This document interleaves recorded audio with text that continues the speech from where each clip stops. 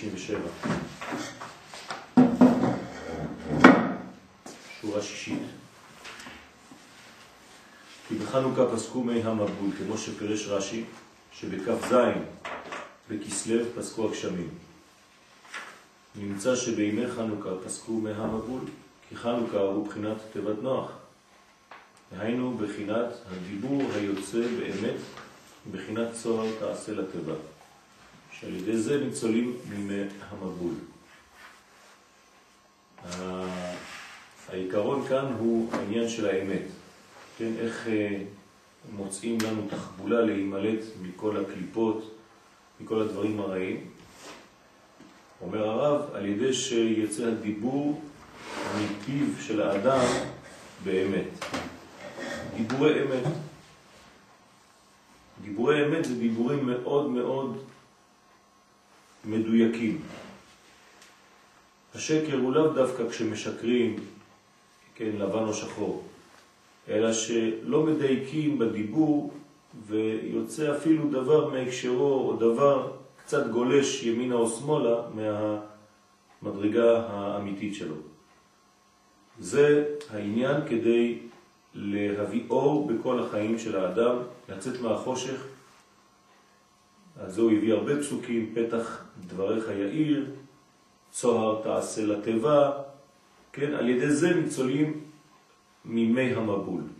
כי כשאדם עומד להתפלל והמחשבות מבלבלות אותו מאוד מאוד, והמחשבות זרות הם בחינת מי המבול, כמו שכתוב במקום אחר בסימן מ"ד, ולפעמים על ידי הפגמים של אדם שפוגם ביותר, מתגברים עליו הבלבולים מאוד מאוד.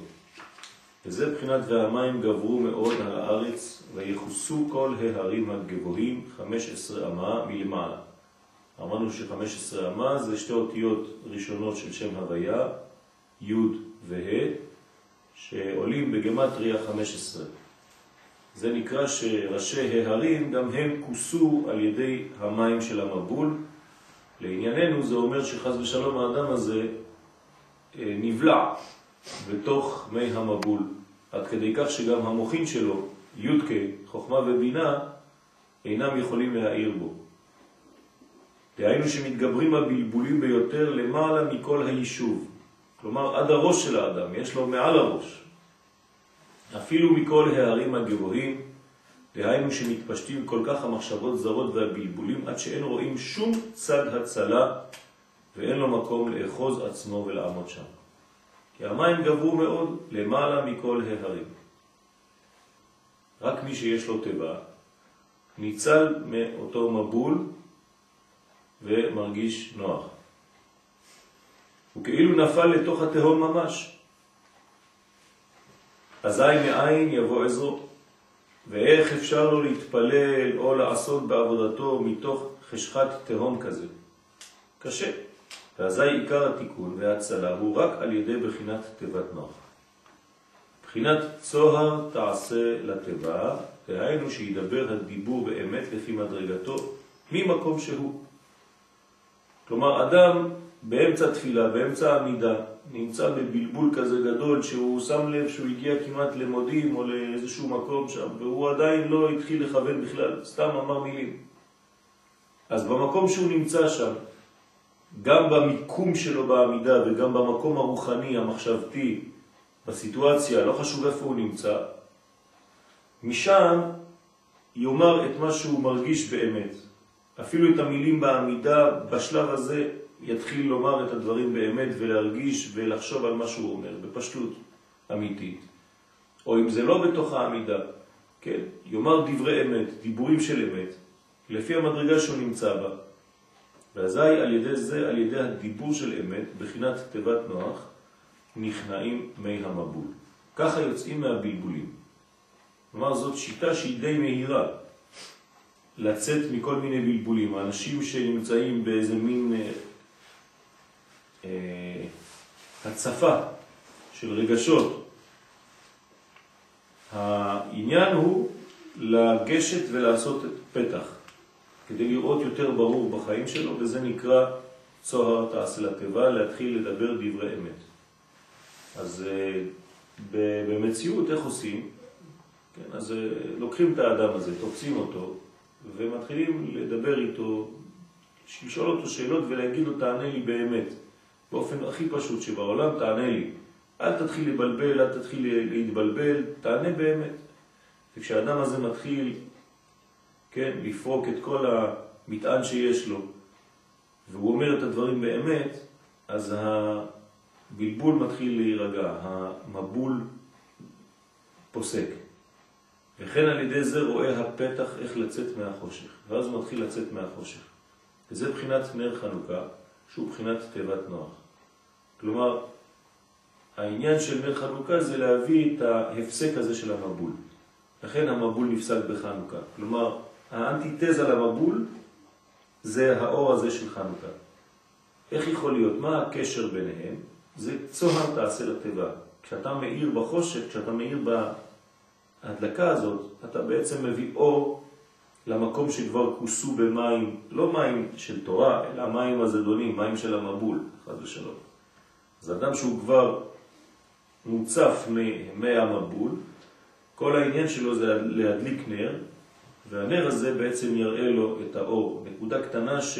של אמת, של דיבור אמת. הנר הזה הוא אמת, הוא הנקודה הכי אמיתית אצלו, הנקודה הכי פנימית אצלו, שאין שם שקר, אין שם בלבול, אין שם לכלוך, כן, כמו שאמרנו בסוד פח אחד של שמן, שחתום בחותמו של כהן גדול. מדרגה שנמצאת בנו שעדיין לא נתלך לך, שנשארה בזהותה הפנימית והאמיתית.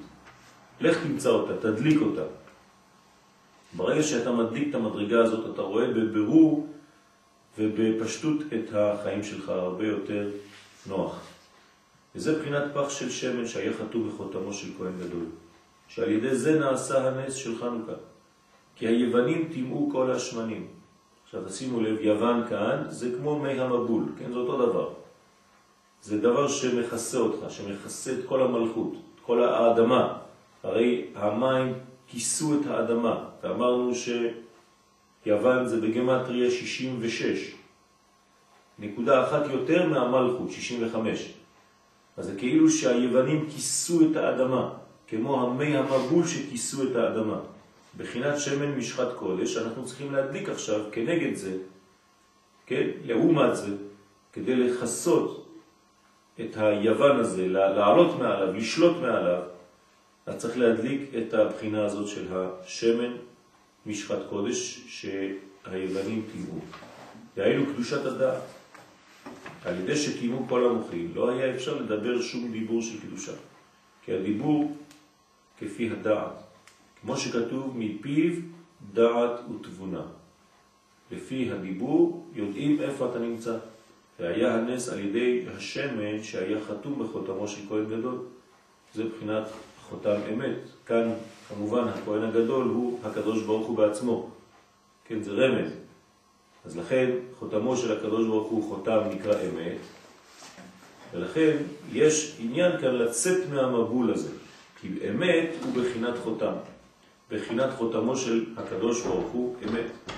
כי הכהן הגדול היה נכנס לפני ולפנים לחפר שם על אבונות בני ישראל, לטהרם ולהוציאם מכל האבונות על ידי הקטורת שהניח על אבן השתייה. מה זה הקטורת? היה מחבר למדרגות שהן למעלה מן העולם הזה.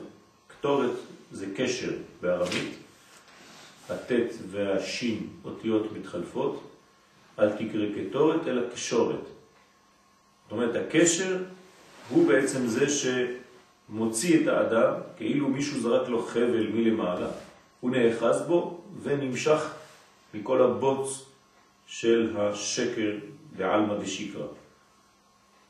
ולכן הוא היה נכנס לפני ולפנים. מה זה לפני ולפנים? הוא מראה לעם ישראל את הפעולה שצריך לעשות, לחזור פנימה, לחזור אל עצמנו. זה נקרא לפני ולפנים, זה לא רק מיקום בבית המקדש שנקרא קודש הקודשים, אלא הכניסה לקודש הקודשים במציאות היא בעצם הכניסה לקודש הקודשים שלנו, כל אחד. בסוד לך לך. לכפר שם על אבונות בני ישראל את הארם ולהוציאה מכל האבונות על ידי הקטורת שהניח על אבן השתייה.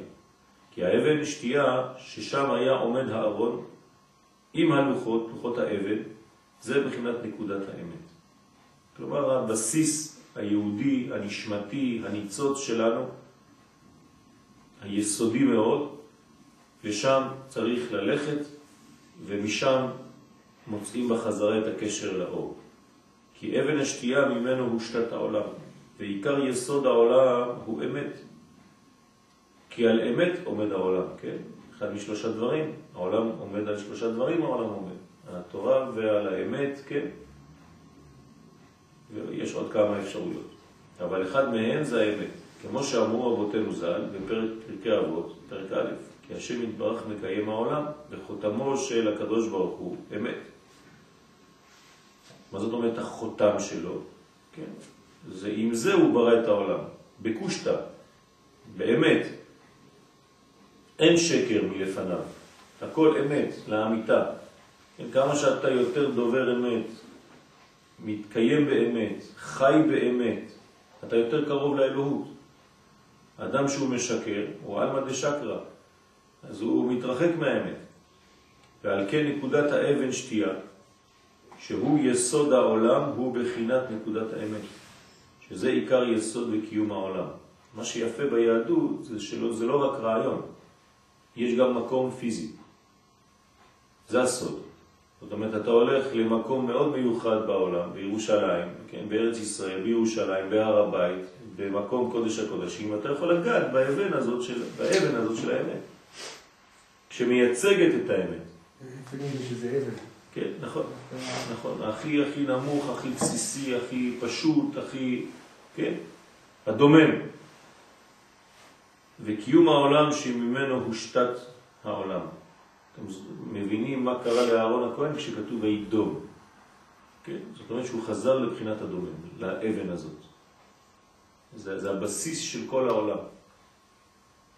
ועל כן שם היה עומד הארון שהיו מונחים בו הלוחות. כלומר, מה זה מונחים בו הלוחות? שהקדוש ברוך הוא כביכול שוכן, יושב על העולם הזה, על אותה אבן של אמת. ושם זה הבסיס שלו. דהיינו התורה שהיא עיקר האמת בחינת תורת אמת. ועל כן נקרא אבן שתייה, בחינת לוחות אבנים. דהיינו בחינת אבן טוב הנ"ל, שהוא עיקר האמת המאיר בעצמו, בחינת אבן טוב כנ"ל. כי הלוחות היו של אבן טוב, כן, אבנים טובות. מה זה אבן טוב? לא סתם אבן יקרה, אלא אבן שמגלה את הטוב. כמו שאמרו אבותינו ז"ל, של סנפירין היה. מה זה סנפירין? זה כל הסוד של הספירות. אבן ספיר, אבן ספירה, אבן ספירתית. אבן שמגלה את עשר הספירות, את הקומה השלמה. ועל כן, שם במקום האבן של השתייה הזאת, כן, שם עיקר עליית התפילה.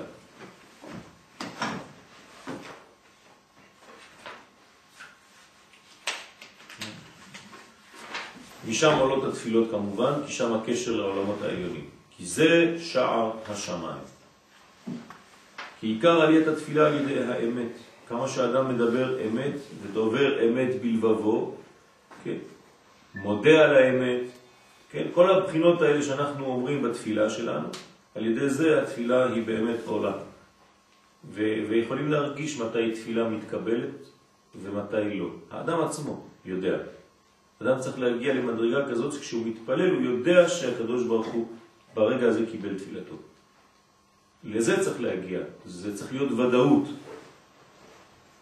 שאדם יודע שתפילתו התקבלה, שהוא יודע שהוא התכוון והתפלל בכוונה כל כך גדולה והוא מרגיש את זה. על כן שם היה הכהן הגדול יכול לתאר את ישראל מהאבונות, להוציאם מהחושך על ידי שנכנס לפני ולפנים, והתקרב עצמו לעצם נקודת האמת. ועל ידי זה היה יכול להמשיך האור המאיר לצאת מהחושך של העוונות, שהוא אור האמת. ועל ידי זה מתכפרים כל העוונות. כי מה זה הכפרה? כפרה זה לחזור למציאות שלפני הכיסוי המלוכלך. כן? כמו ביום הכיפורים, אנחנו רק מוציאים את הלכלוך שהוא חיצוני לנו, שהוא נדבק עלינו מבחוץ, אבל הוא לא במהותנו.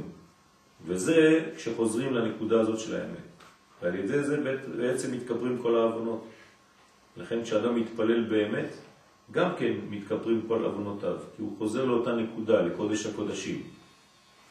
כי מעלים כל הקדושה וכל הניצוצות הקדושים מן הסתרא אחרא על ידי הפתחים שמתגלים על ידי אור האמת כנ"ל.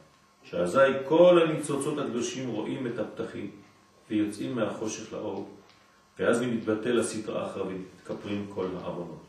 זה כמו יום החופה, כמו יום העלייה לארץ ישראל, כמו כל המדרגות שאנחנו הולכים לנקודה השורשית והבסיסית ומתחילים מחדש. סנדק ברית מילה. כן, נכון. אז הבחינות האלה הן בעצם החזרה של האדם לנקודה ההתחלתית של חייו. כן, כמו יום הולדת ועוד כמה מדרגות כאלה. ראש השנה, ראש חודש, מדרגות שהאדם יכול לחזור בחזרה לנקודה ההתחלתית של חייו. לימוד בוקר. כן, נכון. היום זה אותו דבר, נכון.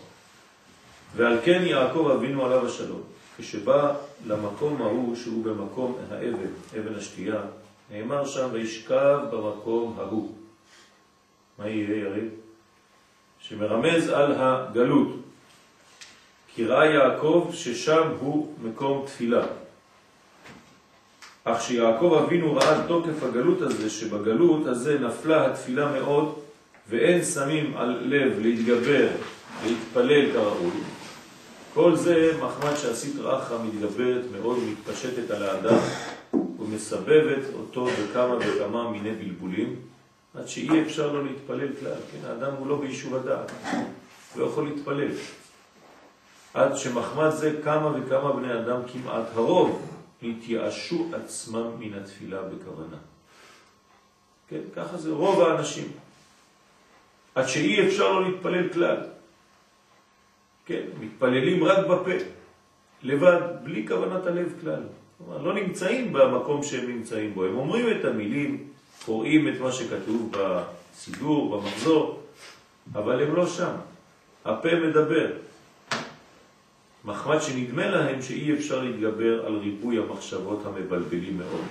אז האדם אומר, טוב, תשמע, זה ככה, אין מה לעשות, זה חלק מהחיים שלנו. אני נכנס לעמידה, אני מתחיל את העמידה, כן? כל האינפורמציות שבעולם מתחילות באותו זמן. אתה מתחיל ללמוד תורה, כל הבלבולים של העולם מתחילים באותו זמן. זה הייעוץ שנותנים לאנשי עסקים, שלא הולך להם כל כך. אומרים להם, תפתח ספר תורה, תתחיל לקרוא. כן, כשהם פותחים, כל הטלפונים מתחילים. ככה זה באמת. אנחנו נתנו ייעוץ כזה לבן אדם בצרפת, שהיה מסכן, היה עובד בבגדים, ולא היה הולך, אף אחד לא היה נכנס. אז אמרנו לו, תפתח תהילים, תקרא. הוא אומר לי, תראה, מאז שאמרת לי לפתוח תהילים, אני לא מצליח לפתוח. אני פותח, נכנס קליינט. למה? כי זה התורה, היא דוחה את הקליפות. ואז הקליפות דווקא מנסות למנוע את הלימוד. אז זה יכול להיות קליפות כזה וקליפות של אה, קליינטים שנכנסים כדי לקנות, כאילו לבלבל אותך. ומכך הוא עשה את הפרנסה שלו. ויעקב אבינו שראה כל זה, על כן שכב במקום ההוא, שהניח את עצמו לתוך בחינת שינה, כלומר, עכשיו מבינים יותר מה זה השינה הזאת, הוא התבטל, הוא חזר לאמת הבסיסית שלו, בלי חוכמות, כן? התבטל שם, הניח עצמו לתוך בחינת שינה, במקום ההוא המרמז על תוקף הגלות הזה, שתפילה הוא בחינת שינה, בלי כוונה כעת. אז הוא אמר, בסדר, אני עכשיו הולך, אני מתבטל לאור האלוהי שנמצא באותו מקום. וראה אז שבבחינת שינה, היינו בתוקף הגלות, כי שינה זה גלות, שמתגברת הסתרא אחרא מאוד על עבודת התפילה. אז מה העצה? אין שום עצה להינצל כי על ידי האמת. לכן יעקב נקרא איש אמת, כן? כליל תפארת שהוא אמת. והיינו לראות לדבר הדיבור באמת ממקום שהוא. ועל ידי זה יכולים לצאת מן החושך ולעלות לתכלית העלייה. וכמובן מי שמוגדר כאיש אמת, זאת המדרגה הכי גבוהה שיכולה להיות. כמו שמגדיר מורנו ורבנו את הרב מרדכי אליהו, כן, שהוא איש אמת. זה לא פשוט, כן? איש אמת זה, זה האיש. זאת המדרגה הכי חשובה ביותר מכולם, כן? וזה ויחלום והנה סולם מוצב ארצה וראשו מגיע השמיים. סולם בגמטריה קול, מבחינת הקול, קול יעקב. כלומר, הדיבור הפנימי לפני שהוא יוצא במבטא שפתיים, שהוא קול היוצא באמת, כמו קול השופר, אין בו עדיין תוספות, אין בו עדיין אה, בלבולים, זה הכל כשהוא פשוט. זה הקול האמיתי, זה הקול של יעקב, זה הקול של האמת. לכן קול בגמטריה סולם, כי רק על ידי דברים כאלה, מקומות כאלה נקיים, אתה יכול להיות בסולם הזה, שמחבר את השמיים ואת הארץ. בחינת תיתן אמת ליעקב, כי קול כלול מאש, מים, רוח. כן, זה הקול של השופר, למשל, יש בו אש שבא מהלב, מהחמימות שאתה נושף, מים זה הליכה שאתה יורק בזמן שאתה תוקע בשופר, רוח זה הנשיפה שלך, והשופר עצמו הוא אפר. אז יש את כל הבחינות בתקיעה, בחינת אמת שכלול משלושה קצוות, כן? וגם הבחינה הרביעית שהיא, הוא לא כלל אותה כאן, אבל היא נמצאת. זאת אומרת, כמו שאמרנו מקודם, על שלושה גוונים שבעין, וגם כן התלת גבנה, דהנה בת עין. אז לכן האמת כלולה משלושה קצוות, כידוע. דהיינו על ידי הכל היוצא באמת. מה זה שלושה קצוות של האמת? א', מ' ות'. זאת אומרת שזה משולש. האמת היהודית היא משולש, היא בצורת משולש. זאת האמת שלנו. אמת חייבת להיות משולשת. זאת אומרת שאם אתה צריך לצייר את האמת בצורה ציורית בעולם שלנו, זה משולש. עם תליטאי, העם המשולש. זאת האמת שלנו. ככה הקדוש ברוך הוא יורד בעולם הזה, שלושה רגלים, אותו דבר, פסח, שבועות, סוכות, זה שלושה קצוות, שזה בעצם סוד הירידה האלוהית לעולם שלנו. תמיד כל מה שאנחנו מציירים בספירות זה ג' קווים, אותו דבר משולש, הכל בבחינת משולשים, יש אפילו רשימו, כן? אז הכל ממש בצורת המשולש הזה. גנבו מאיתנו את המדרגות האלה, הנוצרים, כן, סוד השילוש וכל הבלגנים שלהם. כמובן שהכל, כן, רוב אמת ונקודה אחת, רוב שקר ונקודה אחת של אמת שגנבו מהיהדות. על כל פנים, כן, זאת המדרגה, האמת היא משולשת. שלושה קצוות, שזה בחינת סולם מוצב ארצה, דהיינו אף על פי שהכל היוצא באמת עומד במקום נמוך מאוד, כן? כלומר, בחינת סולם מוצב ארצה, בחינת אמת מארץ תצמח, אף על פי כן פירושו מגיע השמיימה. כי תכף שמדבר הדיבור והקול של אמת, מאיר לו האמת ועולה בתכלית העלייה עד לשמיים. וזה הבחינה של והנה מלאכי אלוהים עולים ויורדים בו. דהיינו בחינת עולם המלאכים שהוא העליון משלושה עולמות המבוארים במאמר הנ"ל, שהם עולם השפל ועולם הכוכבים ועולם המלאכים, שאדם מקיים אותם בתפילתו על ידי הדיבור שיוצא מפיו באמת. העין שם. כלומר, האדם שומר על כל המציאות שמסביבו, אם זה עולם פשוט, שהוא נקרא עולם שפל, אם זה עולם של גלגלים, של כוכבים, ואם זה עולם של מלאכים. כן, אז תמיד, תמיד אנחנו יודעים שצריך אה, לתת שמחה גם למעלה. כי אם אין שמחה חז ושלום בשורשים העליונים, אז גם למטה זה לא בא. נכון? כשהמלאכים בוכים בעולם אחר, אז גם בעולם הזה עצוב לנו יותר. אז צריך להיזהר, לשמח את המלאכים. וזהו והנה מלאכי אלוהים עולים ויורדים בו, דהיינו מבחינת עולם המלאכים. שהוא העליון והתחתון כלול בעליון.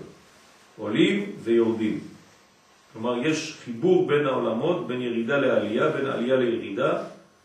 אין סטטיות תקועה באיזה מצב שלא חי, אלא יש חיות מתמדת בתנועה.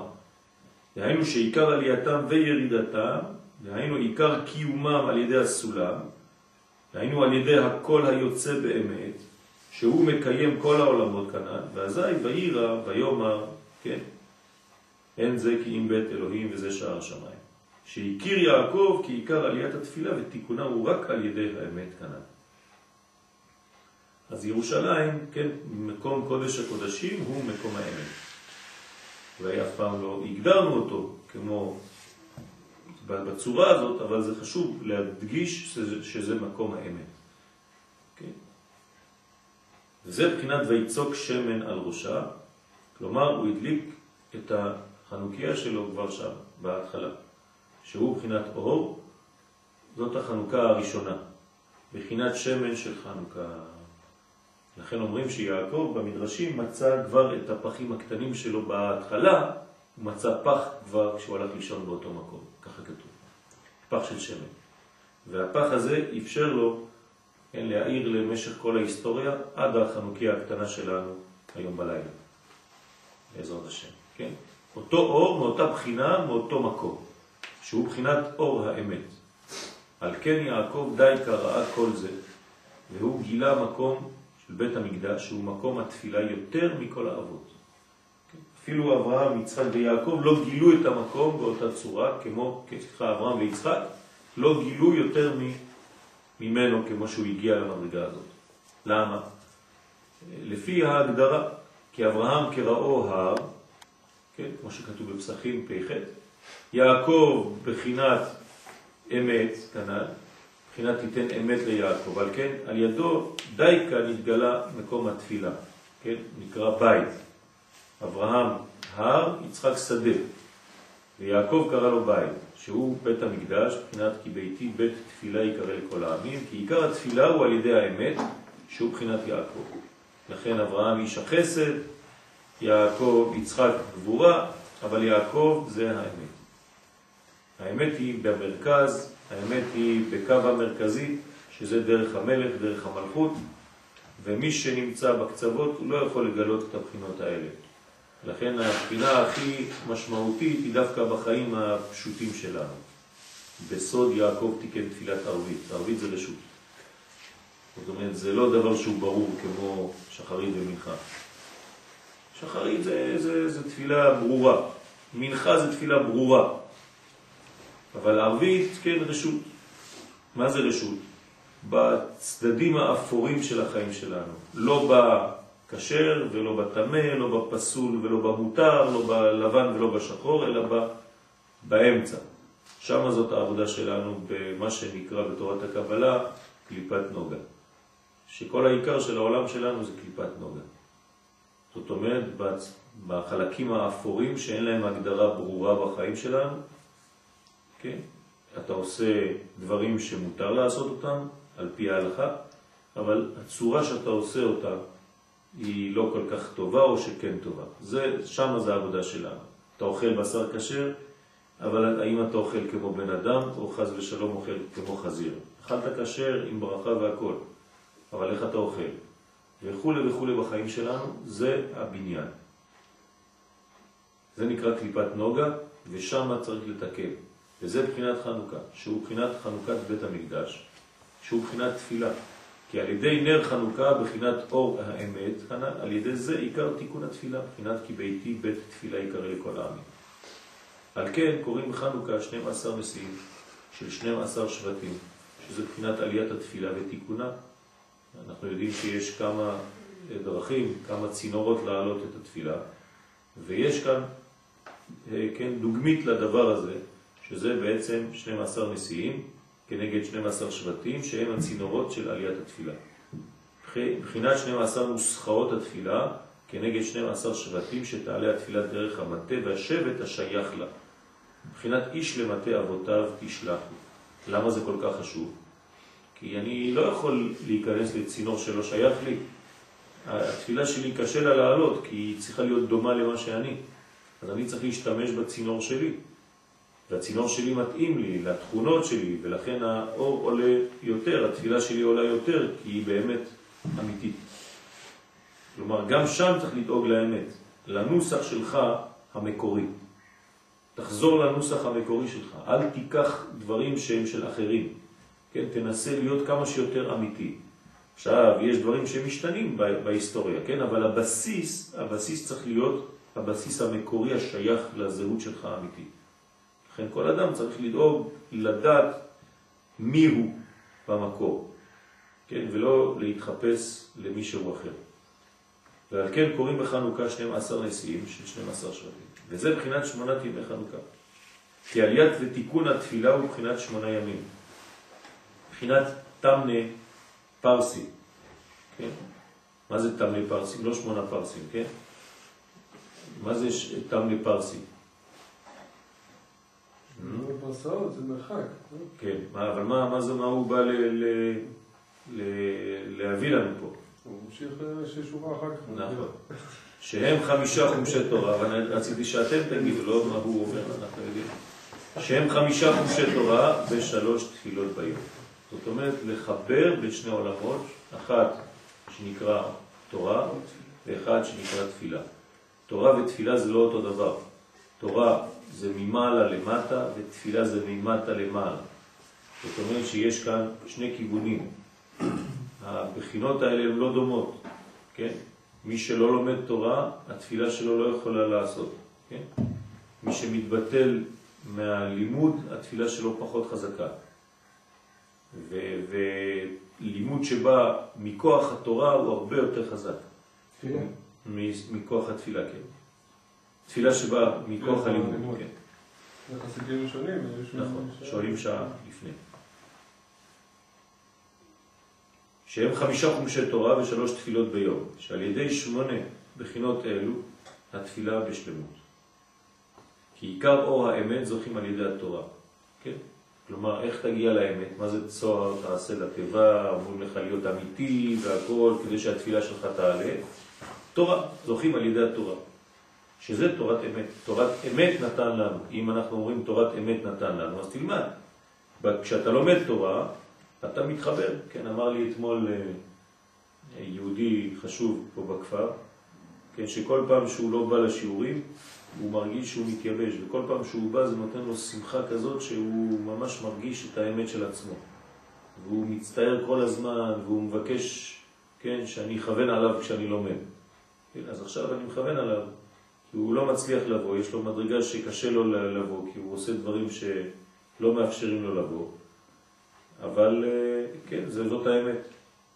יש אנשים שמודים על האמת, וזה חשוב. ועל כן אמרו רבותינו ז"ל במדרש רבה, הלוואי אותי עזבו ותורתי שמרו. תעזבו אותי, אל, אל תתייחסו אליי, אבל תלמדו תורה. כך אומר הקדוש ברוך הוא. מתוך שהיו מתעסקים בה, המאור שבה היה מחזירה למוטב. אומרת, אין כמו לימוד התורה. מי שלא לומד תורה הולך לאיבוד בסופו של דבר. זאת אומרת, שלא לשמה, אבל בוא. תעזבו אותי. נכון. מתוך שלא לשמה, הלימוד עצמו יש בו איזה משהו שהוא נכון. בסוף יחבר אותך נכון. נכון. גם אם זה לימוד באוניברסיטה, ככה זה מתחיל נגיד. זה לא חשוב. איפה שלא תלמד, איך שלא תלמד, איפה, עכשיו, ברגע שאתה דבוק ונכנס ללימוד, לכן אסור לזלזל במישהו שלומד, לא חשוב מה הוא לומד. כן?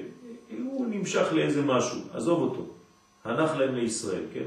הם אה, כמו נביאים, הם מרגישים דברים שאתה עדיין לא מרגיש. אתה מאוד נהיית קצת דתי, תן להם. ותראה איך העולם מתקדם, אתם רואים שעם ישראל חוזר ללימוד. למה? כי אין אדם לומד אלא במקום שליבו חפץ. העיקר שילמדו.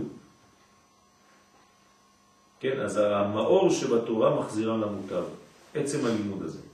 כי על ידי התורה זוכים לאור האמת, שעל ידי זה רואים הפתחים איך לצאת מהחושך. כלומר, על ידי לימוד, לימוד, לימוד, לימוד, בסופו של דבר האדם יוצא כבר, הוא משתחרר מהכלא, כי יש אנשים שהם עצבנים, כי הם כלואים.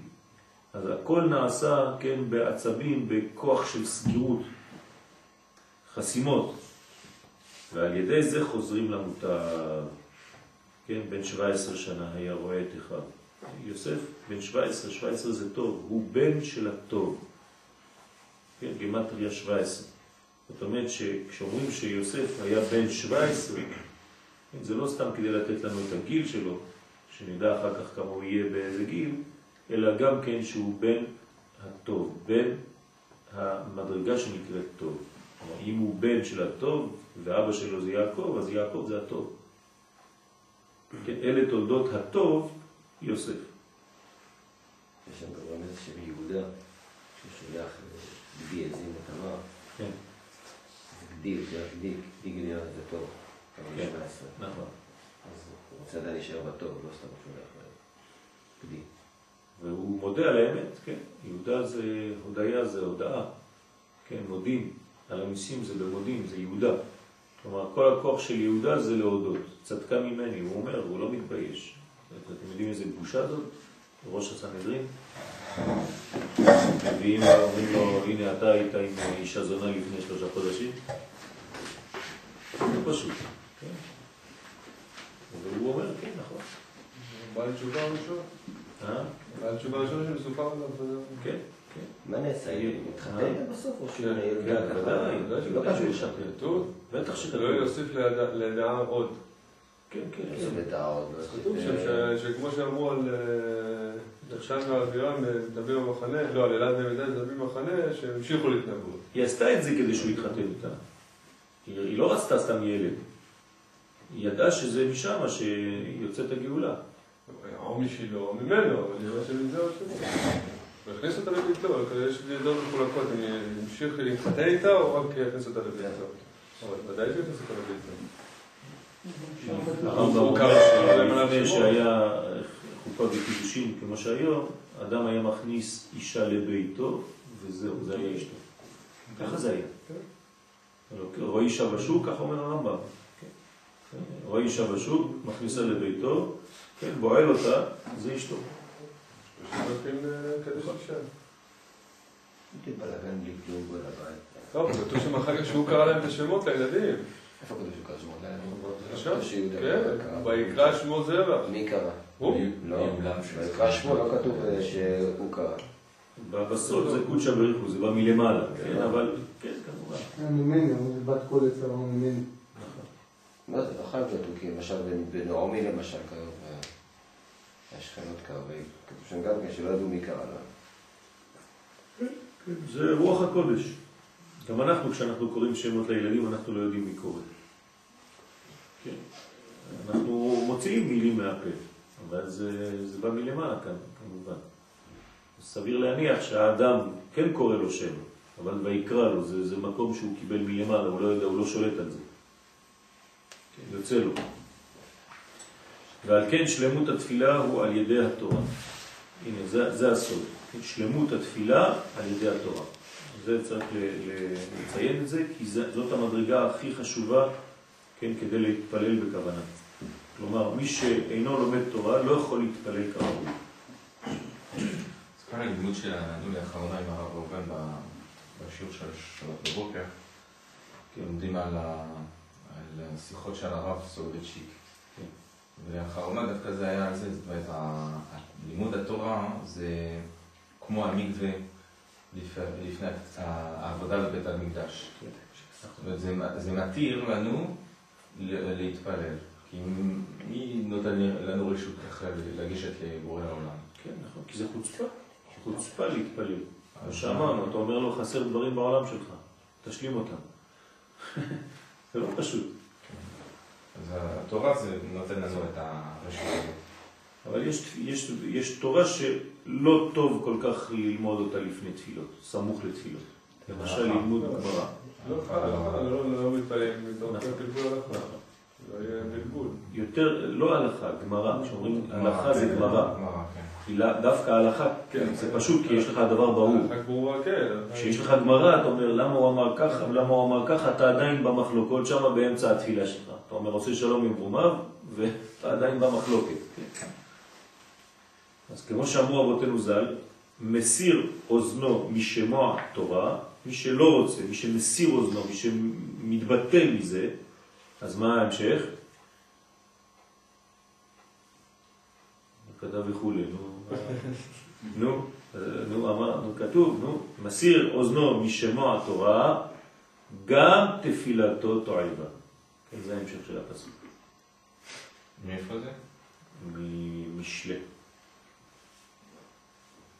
משלה או תהילים, לא זוכר, משלה אני חושב. וזה בחינת שמונת ימי חנוכה, שהם בחינת תמנה פרסי, כן? שהם שלמות התפילה. וזה בחינת משיח, שני אור. זה בחינת משיח, שכלול מכל התפילות. כן, מה זה המשיח? זה האיש אמת, כלול מכל התפילות. הוא מעלה כל התפילות של ישראל לשער השייך לו. וכל זה על ידי שהוא בחינת אמת. זה איש אמת. משיח חייב להיות איש אמת. ומשיח זה משה, נכון? משה זה הפנימיות של יעקב. יעקב מלבר, משה מלגר. זאת אומרת, מה שמשה הוא תפארת בפנים, יעקב הוא מתגלה תפארת בחוץ. זאת אומרת שמשה ויעקב זה אותו דבר, אותה בחינה. לכן יעקב הוא בחינת משיח, כמו שמשה הוא בחינת משיח. רק שיעקב הוא הגילוי של הדבר הזה. כי על המשיח נאמר, שלח אורך ואמיתך. זאת אומרת, האור והאמת. ועיקר שם משיח על שם שהוא משוח בשמן משחת קודש. זאת אומרת, חנוכה. כן, זאת הבחינה של משיח. צמח, אמרנו, שזה המזוזה, החנוכיה והציצית, כן, צמח, שהוא בחינת אור האמת, בחינת שמן של חנוכה. אז כשאתם מסתכלים על השמן של חנוכה ועל הנרות של חנוכה, זה בעצם שלח אורך ואמיתך. אור ואמת. בחינת שמן של חנוכה, וזה בחינת הכהן הגדול שהוא זוכה לקנוס לפני ולפנים, להתקרב לעצם נקודת האמת, שהוא מקום הארון, נקודת אבן השתייה, שער השמיים. יש היום איזה דבר, לסבור נס גדול היה שם, כן. מנת המשיח, נס גדול היה פה, מנת הצמח. אה, אתה רואה? עוד פעם? נס גדול. גדול היה שם. יש אומרים בחו"ל, גימטרי המשיח, נס גדול היה פה, גימטרי הצמח. וגם כאן כל העניין שתופסים אותו מלמעלה למטה, זה ה... אז זה שער השמיים, נקודת אבן השתייה, שער השמיים. וכל זה על ידי בחינת אמת, בחינת שמן, שהוא בחינת אור כנ"ל. כי הכהן הגדול נמשך בשמן המשחה. כמו שכתוב, והכהן הגדול אשר יוצק על ראשו שמן המשחה. לא רק הוא, כל הכלים במקדש, הם יוצקים עליהם.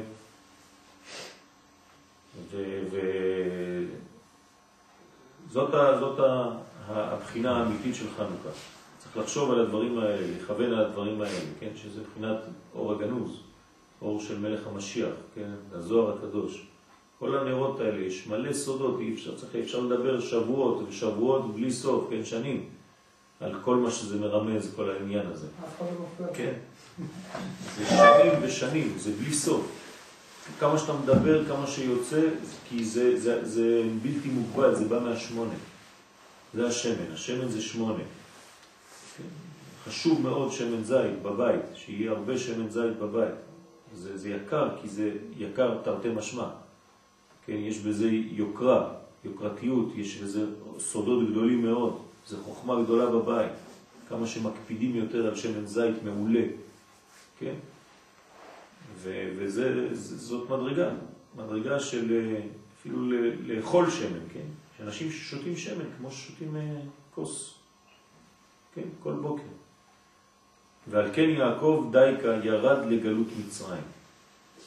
והשם יתברך הבטיחו. איך, מה זה ירד לגלות מצרים? אתם רואים שזה הבסיס של יוסף. כן? כלומר, הוא, הוא כבר מראה את הכיוון שהוא מסוגל להיכנס לדיסקוטק, בלי להישרף שם. הוא הולך להעיר שם לכל החבר'ה. אז יעקב יורד למצרים, למה? השם הבטיחו, אנוכי ארד עמך, גם אני בא איתך לדיסקוטק, כן, מצרימה, ואנוכי העלך גם עלו, נצא משם ברכוש גדול עם כל החבר'ה, נוציא אותם משם. כן, נלך להודו, נחזיר את כל הישראלים. זה, זה הסוד. על ידי האמת שהיא בחינת יעקב. אז יעקב הוא מסוגל, מה? ביטלו את המסיבות פה. ביטלו? זהו, נגמר. הכל הולך לכיוון אה, של גילוי האור. אז אה, יש בחינה גדולה מאוד לאלה שיודעים להיכנס אל עובי הקליפה ולא להישרף שם, לא ללכת לאיבוד שם. צריך כוח גדול בשביל זה, צריך להיות אה, כוח יעקבי כזה, כן, כוח יוסף. הלא אנוכי טוב לך. כן, מה זה אנוכי טוב לך? מאיפה זה בא? זה עשר בנים. אה, מי אמר למי? זה שנה לא לחנה, יפה. כי כשיזכור האדם תיבת אנוכי, דהיינו אנוכי השם? הדיבר הראשון בעשרת הדיברות, היינו מבחינת האמת, זה, זה, זאת המדרגה של הביטול, כן? אנוכי השם אלוהיך. בוודאי יכול לעלות מכל הנפילות והירידות. אדם שמסכים, מקבל את המדרגה הראשונה הזאת, יש לו תקווה. כי בכל מקום נמצא השם, וזהו אנוכי ארד עמך ואנוכי אעלך. מה זה אנוכי? האנוכי הזה ירד איתך, האנוכי הזה יעלה אותך משם, האנוכי הזה ייתן לך את התורה. כן, ראשי תיבות אנוכי, אומרת הגמרא. אנא נפשי כתב התייהבי. זה אנוכי. זאת אומרת, הגמרא אומרת שכשהקדוש ברוך הוא אומר אנוכי, הוא כולו בפנים, בתוך האנוכי הזה, משתתף. אני את נפשי כתבתי והתהוויתי, נתתי. מנפשי נתתי, מדילה נפח. כמו הנשמה שנפח בתוכנו, מדילה נפח. כביכול אומר בעל התניא שהקדוש ברוך הוא מתעייף בנתינתו. אה, מה זה מתעייף? כמו שאתה מנפח בלונים, כן? מנפח בלונים אתה מתעייף. למה? כי אתה נושף מבפנים. אז הנשמה שהקדוש ברוך הוא נפח בתוכנו, היא כביכול, זאת עבודה אלוהית, רצינית, זה לא סתם משהו קל. דבר שבאמת הביא לנו מדרגה של אור, כן? מדרגה עליונה אלוהית שנמצאת בתוכנו, חיי עולם ואמת, תורת אמת. אז מדילה נפח. זאת אומרת שזה מעלה את האחריות שלנו ואת החשיבות שלנו למדרגות אלוהיות, ובעזרת השם, כן, חנה כ"ו זה חנוכה. לכן כי חנה היא בחינת התפילה, אז חנה בשילוב כ"ו, אתם זוכרים את השיעור של יום חמישי בלילה, כן? אז חנה בשילוב כ"ו, בכל הסודות שיש שם, של שם סג, כולם סג יחדיו, בעזרת השם, על ידי זה, כן, חנה זה לשון תחינה, כן, זה לשון בקשה. לכן היא הייתה מרת נפש, והיא מרת נפש כעסתה צרתה. וגם כעס, דהיינו הסטרא אחא שהיא צרתה של התפילה מתגברת על התפילה ומכעסת אותו, מבלבלת את האדם מן התפילה. אדם שכועס לא יכול להתפלל, כי הוא טרוד. אז כל מיני בלבולים, זה המקווה, זאת הכוונה הראשונה במקווה, להוריד את הכעס. כן, מי שכועס לא יכול אה, לבנות שום דבר. זה מסלק את נשמתו חד ושלום. אז צריך לחזור לרוגע וליישוב הדעת. ואז בעזרת השם אה, נזכה גם כן לחיבור הזה, מה שאני אומר ככה לחברים כל שנה, בסייעתא דשמיא, זה לא להיות לבד בהדלקה. כשאתם מדליקים היום הדלקה ב-25, ההדלקה הכי טובה, 25, רבע לחמש, לחשוב שכולם ביחד, כל החברים ביחד, שאחד חושב על השני לעשות קשר ולהתפלל בזמן אחרי ההדלקה, לשבת ליד הנרות ולהתפלל לגילוי משיח באופן ברור בעזרת השם הימים ההם. D'accord. D'accord.